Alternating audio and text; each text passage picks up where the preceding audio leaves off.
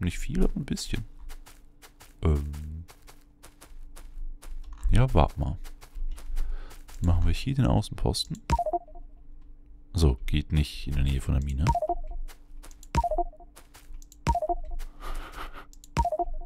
Hier geht's nicht, weil das Gebäude in der Nähe... Ah doch, hier geht's. Ach, dich weg. Dich weg.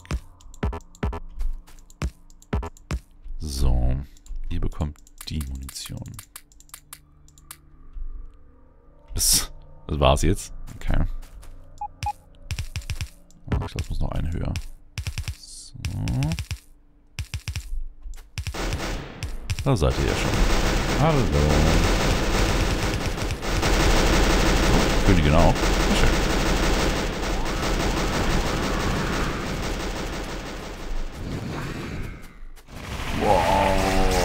Oh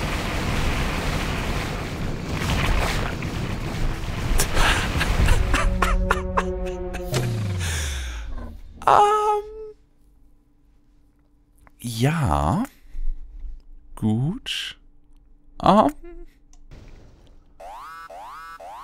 Was zur das, Die Basis ist ein wenig größer geworden. Entweder das war es einfach nur irre, irre viele Spawner. Ich, ich werde jetzt keine Munition hier reinlegen. Ähm. Ich probiere es noch einmal. Und wenn es dann nicht klappt, dann äh, lasse ich das mit der Basis da oben auch. Und ich glaube, ich komme mal von der anderen Seite. Und da ist übrigens auch noch ein Illyrium-Ding, das wir leer machen könnten. Ja, doch ein paar mehr davon, als ich dachte. Weil ich habe halt diese Gebäude immer oben drauf stehen lassen, deswegen sehe ich auf der Minimap nur einen roten Punkt und keinen grünen. Aber es sind 64 Illyrium darunter. Achso, äh, ja. Wo ist die Basis? Roter Wald sehe ich nichts da. Da ist ein Hydralisken. Wenn ich den Zappel kaputt kriegen könnte, wäre schon mal super. Das heißt, ich baue mal hier meine Basis auf. So. Den Rest nehme ich mit. Ein Magazin ist jetzt nicht viel, aber es reicht hoffentlich, die Königin zu knacken.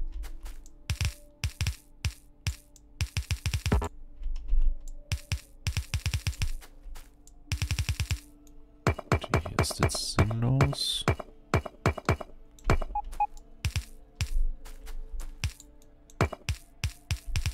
So. Durch die Daumen. Ich gehe mal rein.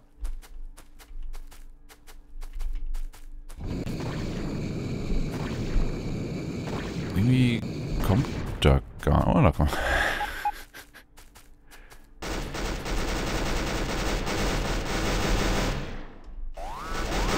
Und da ist die Königin. Okay, go, go, go, go, go, go, go. Hydralisken den töten. Zerstören, wie auch immer.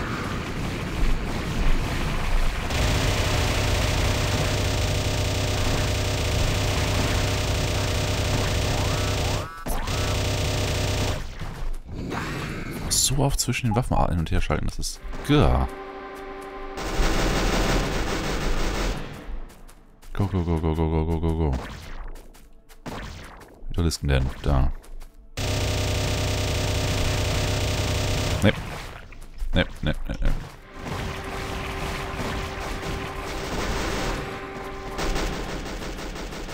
Weg. Ja, mach, mach das kaputt, ist egal.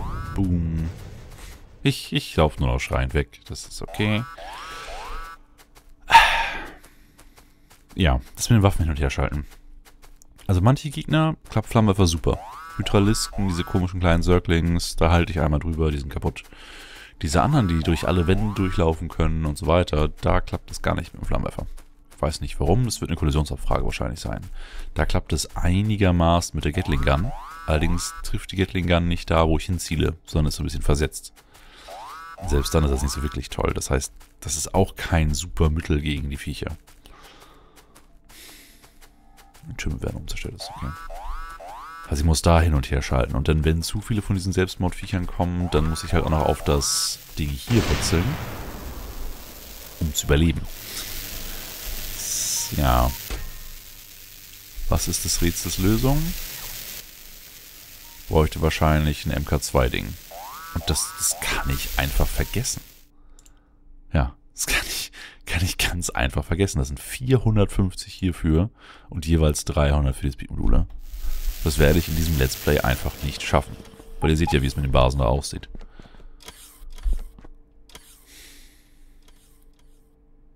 Also ein Raketenwerfer.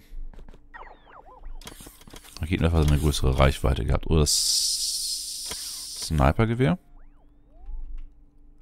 Ich könnte beim Snipergewehr das erforschen. Das warst du. High Explosive. Und die da. Du machst 160 plus nochmal 260 Damage mit einem Schuss. Das ist ein ordentliches Upgrade zu dem hier. Allerdings haben die Gebäude ja 65.000 plus Hitpoints. Da ist jetzt 260 nicht so die Welt. Panzer war schweineteuer. 31 Artefakte. Nee, nee. Also. Kann es sein, dass ich mir jetzt schon verbaut habe? Also, dass ich die Basen zu lange habe wachsen lassen und dass ich deswegen jetzt gar nicht mehr rankomme? Nee, kann nicht sein. Ich kann ja... Genau, das kann ich jetzt machen. Ich kann ja das Delirium abbauen das so verstreut ist. Und es gibt nur eine begrenzte Anzahl an Basen, nämlich die 15 Stück, die um mich herum äh, gebaut sind. Das hier kann man alles weg. Das heißt, ich könnte theoretisch jetzt einfach die Sachen hier abbauen, wo ich rankomme. Und danach gehe ich irgendwo ganz hier hinten hin und suche hier nach Illyrium. Basen sollten hier ja keine sein, richtig? Richtig? Bitte, bitte? Das, das wäre zumindest die Idee. Ja, mal gucken. Gut. Also, nachts losziehen und eine Illyrium-Basis aufbauen. In Hoffnung, dass morgens dann genug Sonne reinkommt, um das alles zu betreiben. Und hier waren eh nur 33 oder so drin. Das ist ja nicht die Welt, aber ist ein Anfang. Und so muss ich mich dann wohl jetzt nach und nach durchbeißen. Bis ich genug Zeug bekomme. Ich brauche übrigens auch eine neue Powerrüstung MK1 bald, weil meine schon ziemlich Schaden genommen hat. Und ich glaube nicht, dass ich die reparieren kann. So, bau hier. Dim, dim. Pole, Pole.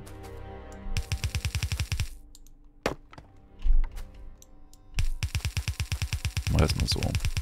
Das wird wahrscheinlich alles viel zu eng sein, aber Hauptsache, sie können nicht sofort durchlaufen. Dann hier. Blub, blub, blub, blub, blub.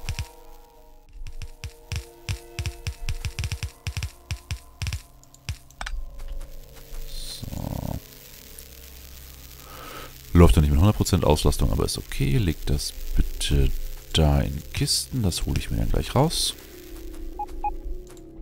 Hier kriegst du ein paar tolle Rohre für eine Rohrmauer. Zack. So, wie viel hattest du jetzt drin? Vier. Oh. Oh, das ist die größere Anlage. Ja, das, das könnte jetzt sogar ein bisschen dauern. Mach das mal weg. Das heißt, ich hoffe jetzt, dass das Ding nicht angegriffen wird. Das kann ich nicht bringen. Ich kann das nicht alleine lassen.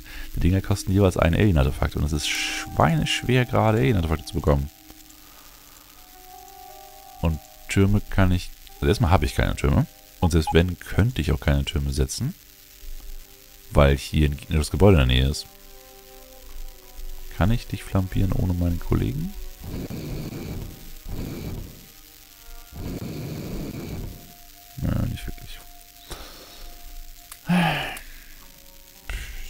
Prinzip Hoffnung ist nicht gut. Kann ich irgendwas Produktives machen, während ich hier rumlunge? Erstmal kann ich das wieder da rein tun.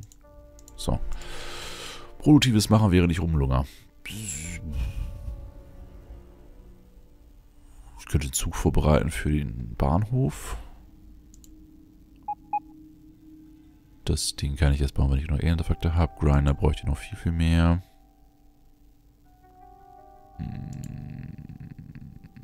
Personal Roboport. Hatte ich mir überlegt, dass ich den nehme, wenn ich nicht am Angreifen bin.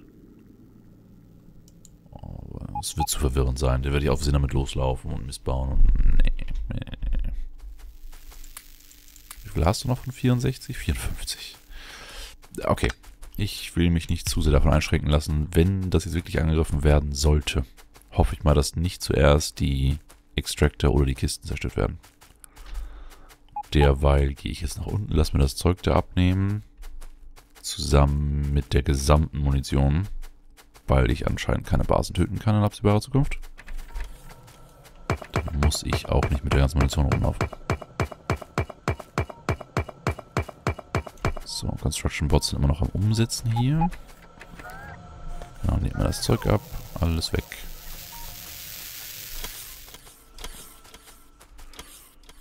Ist jetzt Strom okay? Nee. Mist.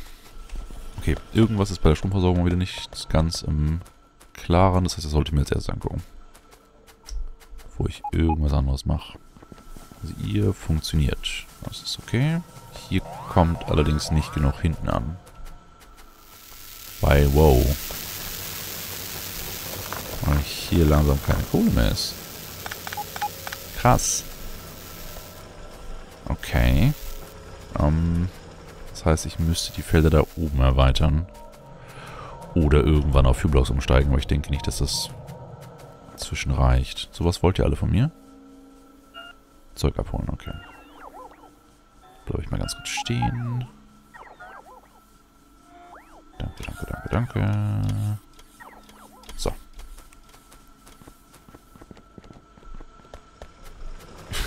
Ja, hier kann ich auch nicht wirklich mehr, mehr, mehr Minen hinbauen.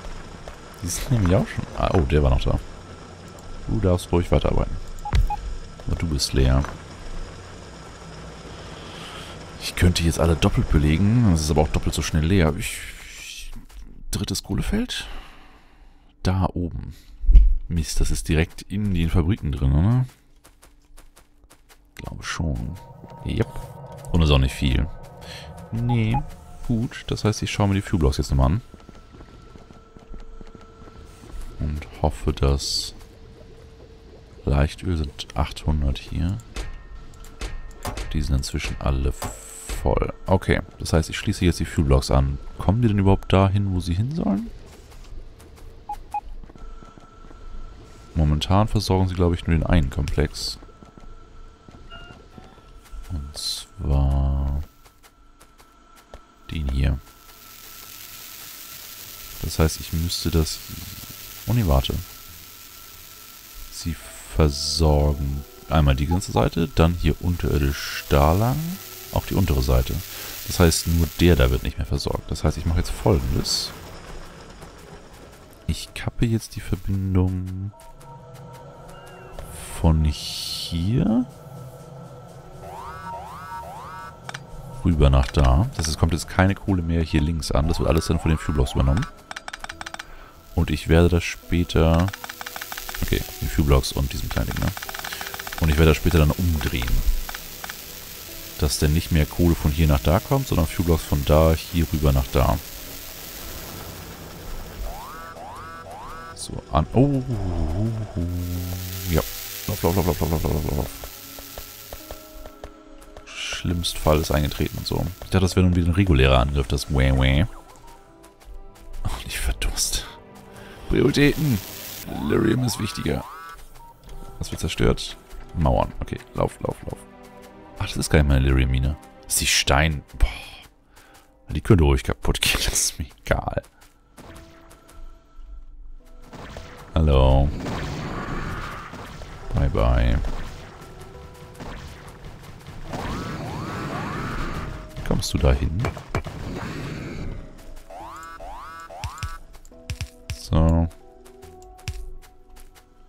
Jetzt bist du wahrscheinlich einfach hier reingelaufen. Ist okay. Das, das kann so bleiben. Jetzt schnell, schnell runter. Und ein bisschen Sauerstoff tanken. Kein Strom ist nicht gut. Aber sobald die Fuelblocks ankommen, klappt das hoffentlich. Muss ich auch gleich überprüfen, ob das alles so funktioniert, wie es funktionieren sollte. Aber das sieht hier schon mal gut aus. Rückst da lang. Zack. So. Jetzt zeigt mir bitte, dass die Fuel-Blocks hier einigermaßen verteilt werden. Ja, werden sie und die laufen auch alle mit einigermaßen Temperatur. Nicht voll mit 100, aber ne? schon mal ein Anfang. Die hier auch. Da müsste ich jetzt noch weiterbauen. Da könnte, glaube ich, auch eine Reihe hin später. Die sind jetzt voll. Ich, warum genau haben wir jetzt Stromprobleme? Weil es Nacht ist. Das, das, das stimmt wohl. Und weil die Rage sollen echt Schweine, wie wir brauchen. Äh.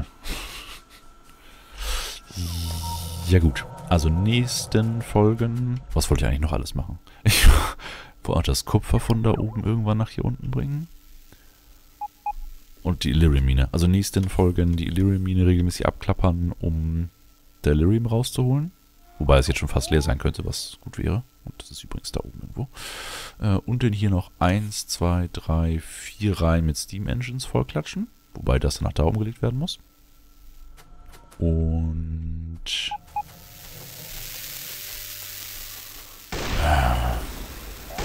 Dann bin ich mir nicht ganz sicher, was.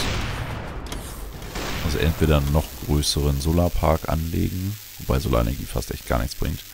Aber ich habe halt nicht genug Fuelblöcke, um noch mehr Steam Engines zu befeuern. Die paar, die wir hier herstellen, die werden vielleicht gerade mal reichen. Das muss ich schauen. Also das Solarenergiedach eine Alternative, weil es halt kein Öl verbraucht. Hätten wir sonst größere Ölvorkommen? ja, da hätten wir größere Ölvorkommen. Da. Ich könnte da einen Ölaußenposten machen. Wobei das sind nur fünf Stück. Ich glaube, größere Cluster gibt es auch gar nicht auf dem Haufen. Nee.